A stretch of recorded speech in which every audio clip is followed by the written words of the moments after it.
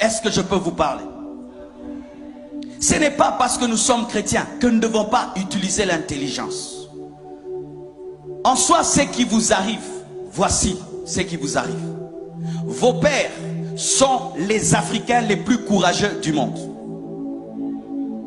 Ce sont les premiers Africains qui ont arraché d'eux-mêmes leur liberté.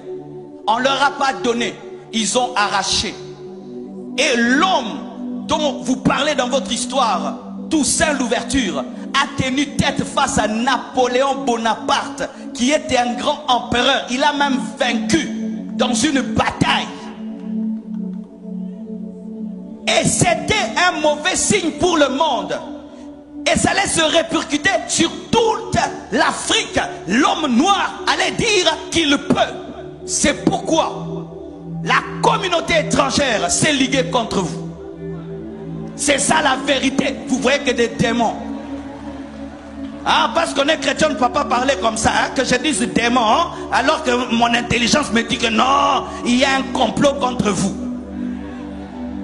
Il y a un complot contre vous pour que vous ne soyez pas des modèles pour les Congolais, pour les Béninois, pour tous les autres Africains qui puissent dire nous pouvons s'y tenir tête et poursuivre notre destinée. C'est pourquoi on vous combat, on vous assiège pour vous appauvrir afin qu'on dise si tu te libères, tu seras comme eux.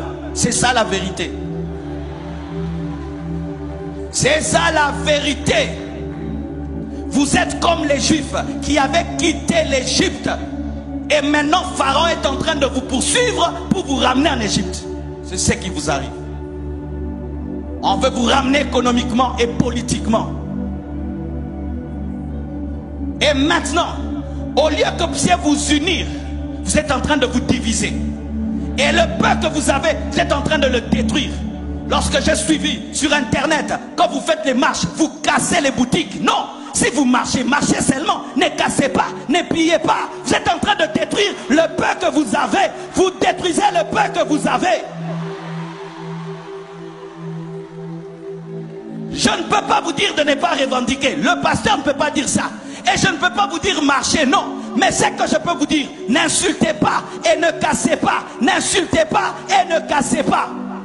Mais sachez aussi, vous pouvez changer 10 000 présidents. Mais si dans la tête vous ne changez pas, vous aurez les mêmes problèmes. Vous aurez les mêmes problèmes. Changer de président, ça ne fait rien. C'est vous qui devez changer. Vous avez déjà eu combien de présidents? Combien de coups d'État? Combien? Donnez-moi la main.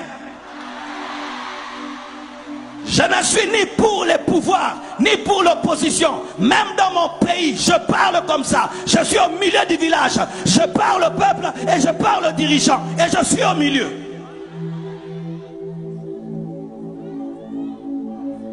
Tu marches, tu viens dans ma boutique, tu me prends tout. Est-ce que ça c'est marché encore? Tu marches et puis tu brûles ma voiture. Ça c'est encore marché. Qu'est-ce que moi je t'ai fait Qu'est-ce que ma voiture t'a fait? Qu'est-ce que ma boutique t'a fait? Ne commettez pas l'erreur que nous on a commis au Congo. Vous savez ce que nous on a fait au Congo? On a marché comme ça et puis on a pillé. On a pillé les plus grandes entreprises. On a pillé la, zone industrielle. Et notre économie a reculé fois 100. Et la zone industrielle aujourd'hui est devenue une zone industrielle résidentielle. Qui ont détruit nous-mêmes Et quelle force On pouvait voir un Congolais qui transporte lui-même un congélateur?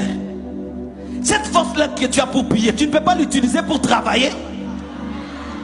La force que tu as là pour transporter des congélateurs, tu ne peux pas l'utiliser pour travailler et développer ton pays.